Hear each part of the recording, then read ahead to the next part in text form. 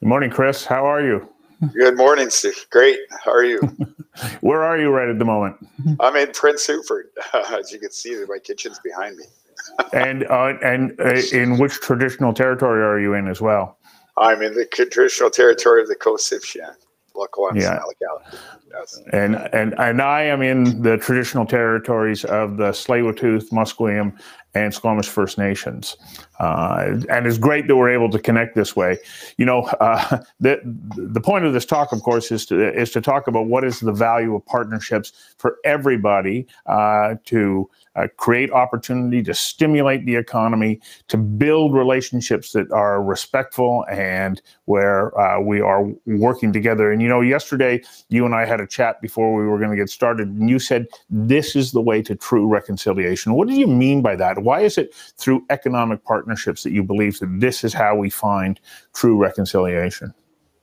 Well, you know, Stuart, for me, um, relationships are everything. And uh, it's important that we create certainty, not just for our people, but uh, industry needs certainty as well. That uh, that when they're walking into our territories, they know that we're working together. Um, I've always said, "Together we're stronger," and I really think that there's a real opportunity to start uh, working on commercial agreements, uh, attacking these opportunities by region by region, uh, and slowly come together as a people. Uh, we say we want to reconcile with government, we want to reconcile with industry.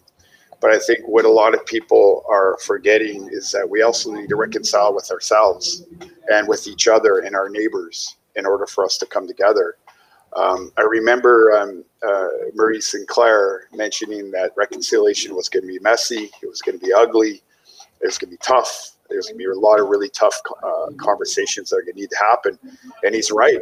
Um, I, have always said uh, at our leadership table that I help um, start with a with a with a coastal leader that the tough conversations is what's going to get us over the finish line. The tough conversations is what get us to where we need to be.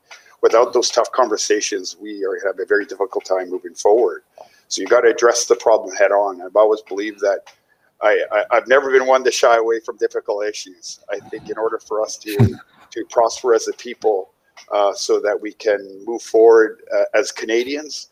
Um, we need to work together, but we also we have to reconcile with one another in order for us to achieve that success you know, I, I, had to laugh just a little bit uh, when you said you're you're never one to shy away from tough conversations, and it's so true. There are sometimes I go, "Wow, okay, you you, you turn your you know your face into the wind and, and hit it head on." But when you talk about tough uh, conversations, what are some of those topics that you know that everybody who says well, we want to create a partnership? What are those topics that we have to understand and then find a way to work out? Uh, you know what the challenges might be so that we can have a common goal. Well i mean overlap seems to be uh, one of the big ones. Um, as you know uh, many of our communities want to achieve free prior informed consent. But through that process what happens is uh, there's overlap of territory. It could be traditional hunting grounds. It could be uh, trap lines. It could be overlap just in, uh, with uh, mixed territory within tribes uh, and those are the one of the main issues I find that need to be discussed uh, because uh, what I find where I'm from, uh, there there's our community has never moved our boundaries, and it's really important that if neighboring communities want to work with uh, my community, such as Lac uh, they need to come in and have that discussion with leadership you know, historically, when we talked about the hereditary, when we talked about how we want to implement that process, uh, a long time ago, a neighboring community would have to ask permission to come in to to come into the territory. I don't see why it won't be any different um, now. Um, but what's happened is uh, the government has made some changes. Uh, as you know, most recently uh, was the new environmental assessment process I don't believe that's the right way to go. And because the reason I don't believe that's the way to go is because I really believe you're forcing the hand of those impacted communities that have a number of industry players that want to come in and do business with them. So, how is it fair to the impacted community that, say, is way north versus a community that is central coast and and that community may have a say over the process of how something is done right in our backyard.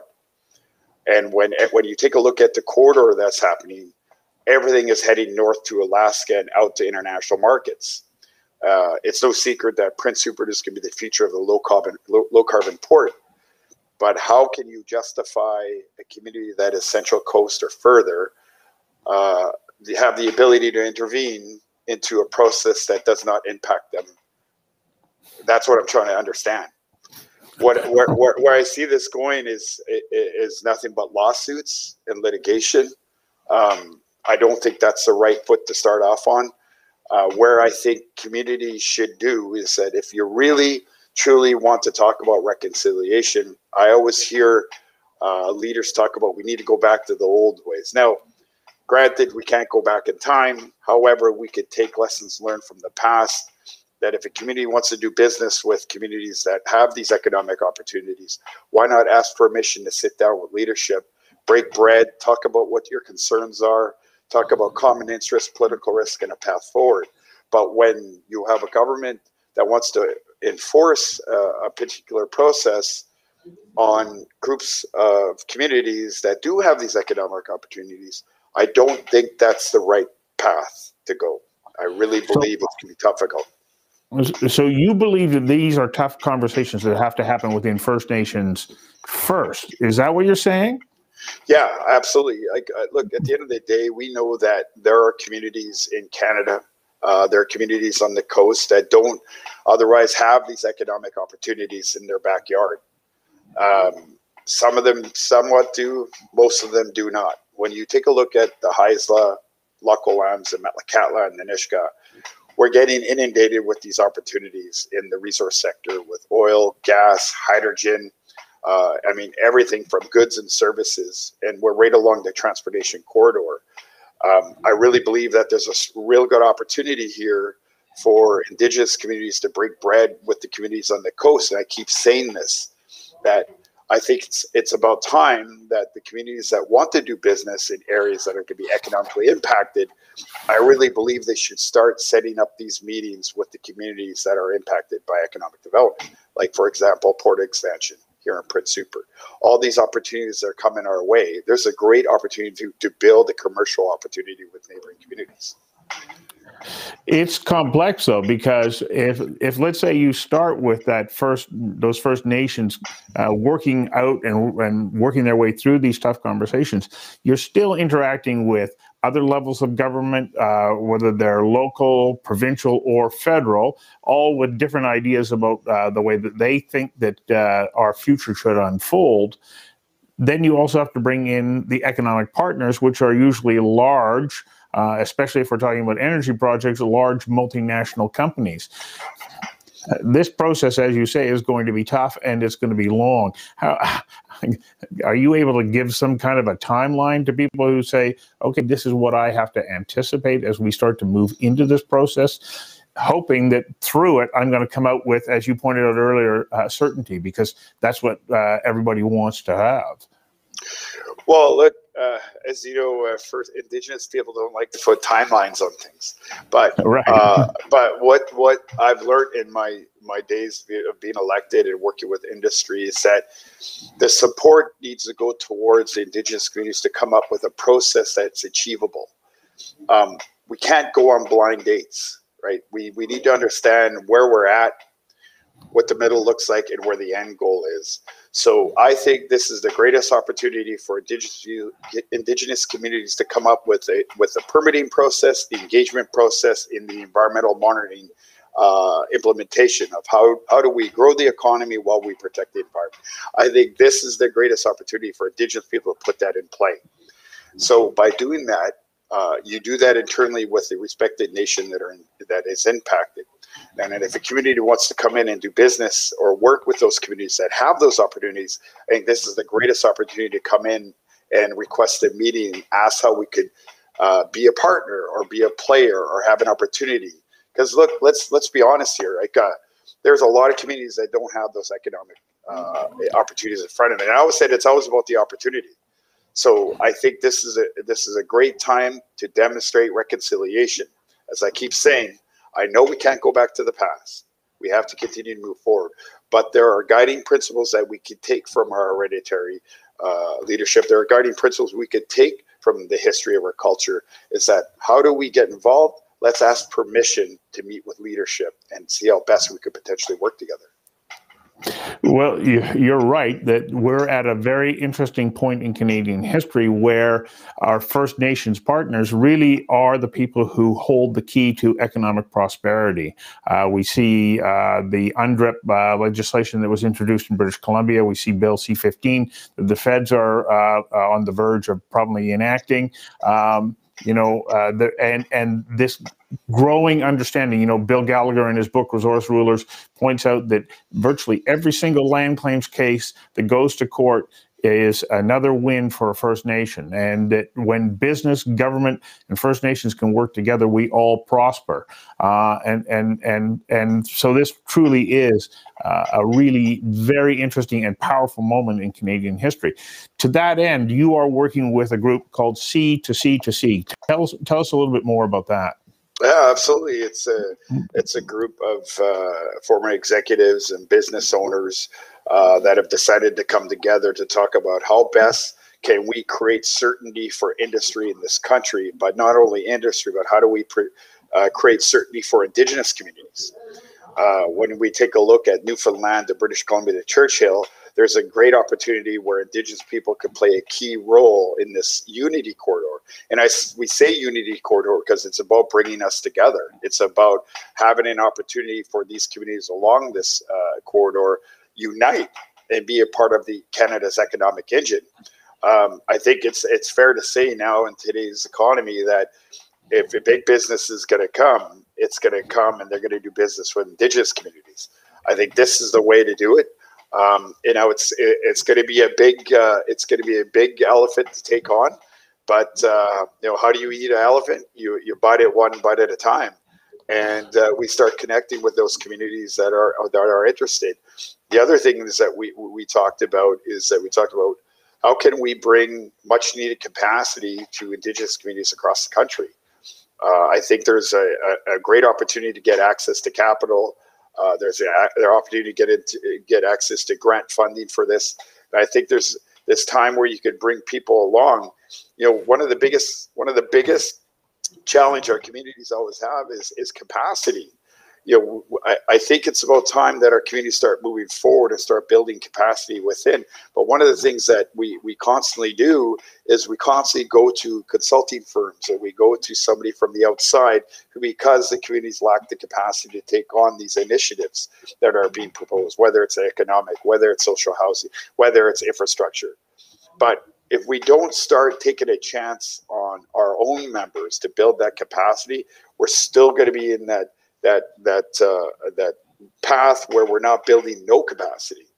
So I think what Indigenous leaders and communities need to start recognizing is that when you bring on a consultancy firm, some of the things that they should be focusing on is how do we mentor local Indigenous communities from the said nation that they're working with so that in 10 15 years or so that they they or five five to seven years or so they'll know how to take on these much uh, take on these important projects I want to give a shout out to Jennifer Hooper at Sauder School of Business right now because she has developed a First Nations uh, degree program to help uh, people in communities, just as you're talking about, uh, understand, appreciate, analyze all these opportunities, and then uh, make informed decisions on the best way to move forward for for that nation. Uh, because you're right, uh, people need to be uh, equipped with the tools that are going to allow them to make the uh, appropriate kind of de- decisions. You know, on the weekend, I don't know if you saw, or maybe it was late last week, the Toronto stock market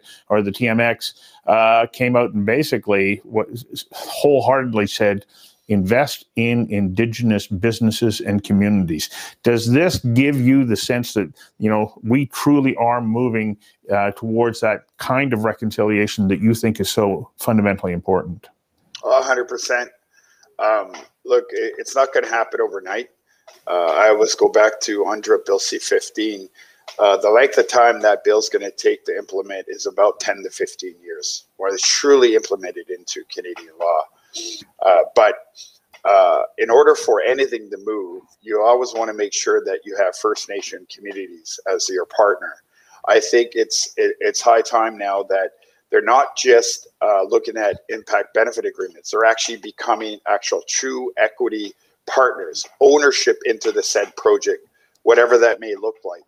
Uh, you know, for years I kept hearing our community saying we want to get away from depending on government dollars. Well, here's your opportunity to start generating sole source revenues back to your own community. When you take a look at the BC Hydro lines and all the pipelines and all those uh, wonderful utilities that we have in this country to heat our homes, to provide a good living for our people, this is the time to do it, is where we could start to get a percentage of those opportunities. I, that's I, I really believe that's when we look at these global opportunities, that's going to be the path that this country is going to go. Uh, you know, there are some people who look at UNDRIP and, and Bill C-15 and they go, oh my gosh, okay, well, that means that one, uh, you know, a, a, First Nation has uh, the veto rights over a particular project. But it, I, I, when I listen to you speak, Chris, I get the sense that you're saying uh, those uh, pieces of legislation become immaterial when you're working in partnership with somebody because you're already working towards a common goal. A- am I hearing you correctly? Yeah, look, I, I, I know in our community um, and others that I've worked with that I continue to work with, these leaders have always said we need to work with our neighbors. We need to start coming together and how best we could work together. Where it goes south, real quick, is when other communities start to infringe on the rights and title of the community that is impacted with these opportunities that are in their back door. When you start to mix commercial and rights and title, that's where things go wrong. Um, I can tell you, as a as a as a band member of Lax Kw'alaams and as a former counselor, our people will never agree to stuff like that. So when communities, other leaders or communities look at places like Lax Kw'alaams or or Metlakatla or the Haisla, they need to understand that those leaders are under immense pressure on to protect the inherent rights of our band members. And that's the land, the resources, everything around it. So it, you, when you start to talk about land in question or, or claiming land, that's where the conversation ends. But mm-hmm. if the community truly wants to work with a community that has these massive global opportunities in front of them, I would sit down and ask to break bread and start that relationship and start talking about how best we could could work together. What are the synergies? What are the concerns? What are the common interests? And how do we move forward together? But as soon as you start talking about claiming lands, that's where it ends. That's, and I just, I'm, I'm speaking from experience. I've seen this on a thousand times where there's a golden opportunity to work together with neighboring communities. And as soon as that comes into question, it ends there.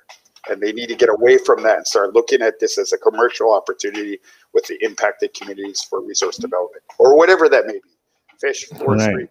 whatever that may look like for that community.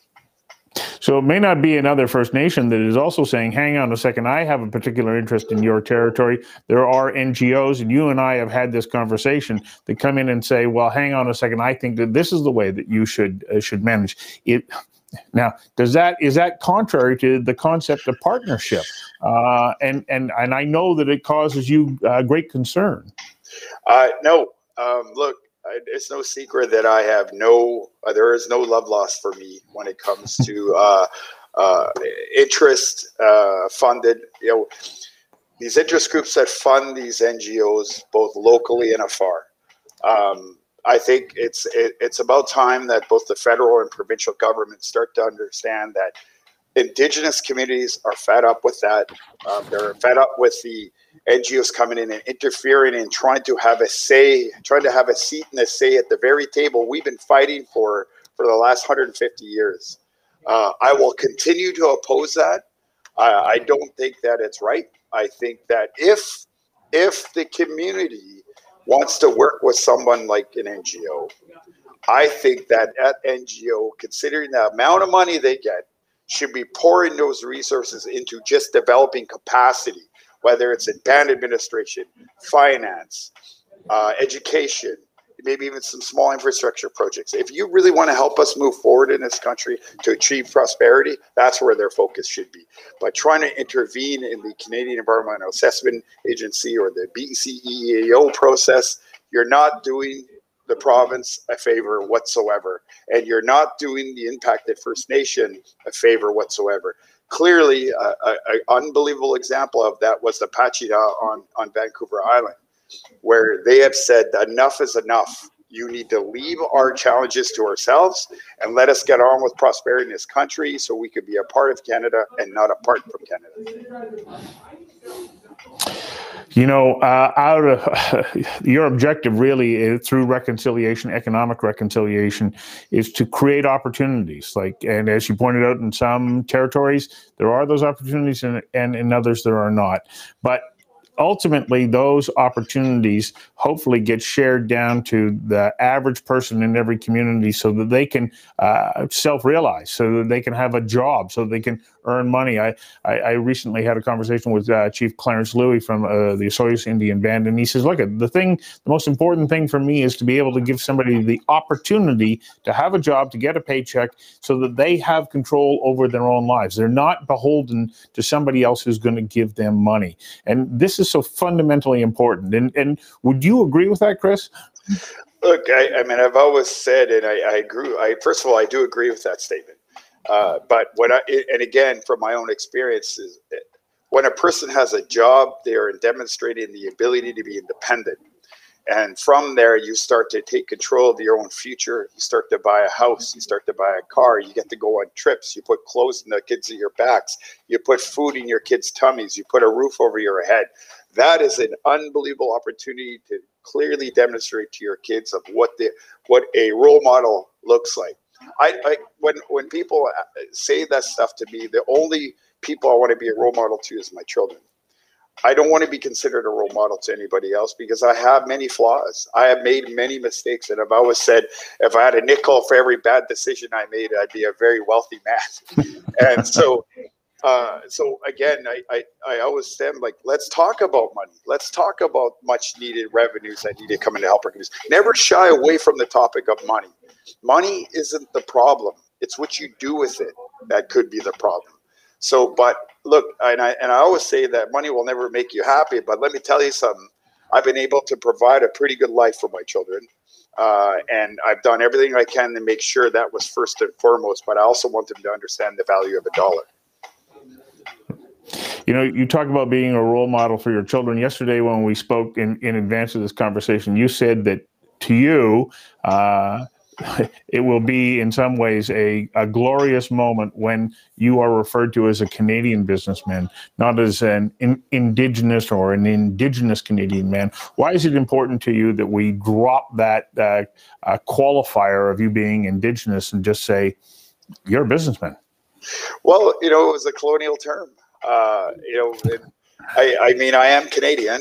I, am just much like any other Canadian in this country. I, I, live and breathe in Canada, and I don't see why not. I can't just be called a Canadian businessman. Um, I think in some regards, it's. I mean, it doesn't uh, bother some people, but I think some people find it patronizing. But I mean, the average Canadian is called a Canadian businessman. We don't need to. I don't. I, hope one day I'm not called an Indigenous businessman. But more importantly, I hope my kids, uh, if they ever venture down the road of business, uh, or whatever that may look like, that they're just referred to as a Canadian, an Indigenous person that was born into the land, but as a Canadian, I'm a businessman. Yes, you are, and you're doing incredibly well. I see you popping up everywhere. Like people want to know your opinions. There, your uh, your your working deals everywhere. How many different companies do you have in play right at the moment? There's four different uh, opportunities that are coming about. Look, I, I always tell people Blackfish Enterprise is more of the flow through. Um, I, I, I self-financed a lot of my own money, and capital. Um, some say that would be crazy. Um, others said that, well, I think that's not a bad approach, uh, but there, there are bigger fish to fry that I'm going after.